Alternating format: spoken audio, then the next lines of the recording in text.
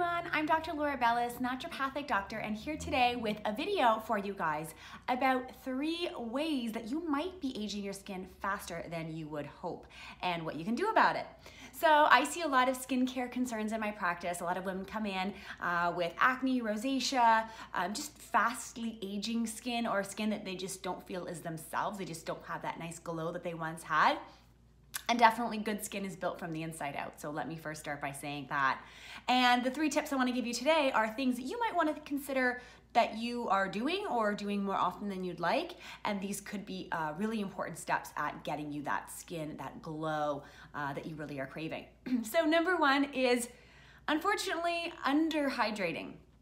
And this is not gonna be a talk about drinking too much water or more water than you should be. This is actually gonna be about thinking not only about the water you're taking in, but are you actually dehydrating yourself with alcohol and caffeine? So these are diuretics and they can actually just allow you to unfortunately urinate all the extra fluid out more than we would think. So I always recommend that everyone gets their minimum fluid intake per day. And that's simply done by getting your total body weight in pounds and divide that by two. That's the total number of ounces that you need of fluid per day. So for example, someone that is 160 pounds, half of that would be 80, so 80 ounces or 10 eight ounce glasses of water per day ideally fluid that's non-caffeinated and non-alcoholic.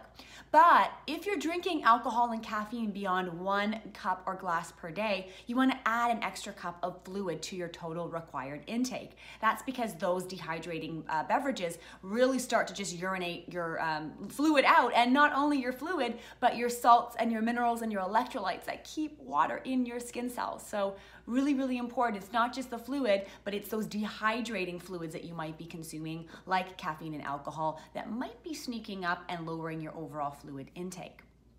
The second aspect is a low antioxidant diet.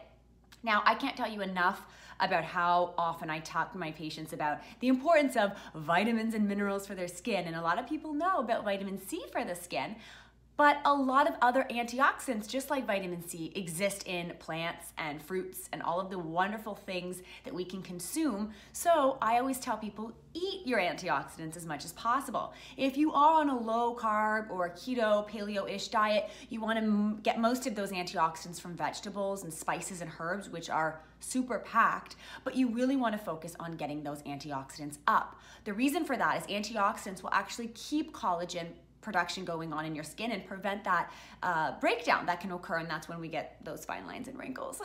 so keeping the antioxidant content up will keep your skin plump and hopefully wrinkle free or slow down the wrinkling process and it will definitely keep your skin tone even and give you that glow. So this is also important if you have any of those hyperpigmentation problems, uh, either acne scars, melasma, or anything else from previous UV damage that you want to even out, getting that antioxidant content up in your diet is going to be key.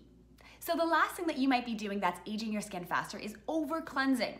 Yes, over cleansing. I get so many people talking to me about what cleansers they're using, what moisturizers they're using. You have to actually do the process correctly and you want to avoid using the harsh cleansers because that's going to strip the oil off your skin, which protects, which hydrates, which keeps all those amazing moisturizers in your skin and on your skin. And the, the, the fact of the matter is too many women are stripping their skin, especially if they have acne or they're afraid of clogged pores, and they are not replenishing enough on the surface. So it's really really important to not only have a good cleanser and moisturizer, but you wanna be using ideally a soap-free cleanser or a cleanser that's really not harsh and it's pH balanced. So there you have it, my three tips for ideally avoiding so you can get your best skin ever. If you want my freebie this video, I'm giving you guys my five mistakes to avoid to keep your skin clear and glowing and you can just download that freebie right away inside the description below this video. I look forward to seeing you guys in the next video and here's to glowing gorgeous skin.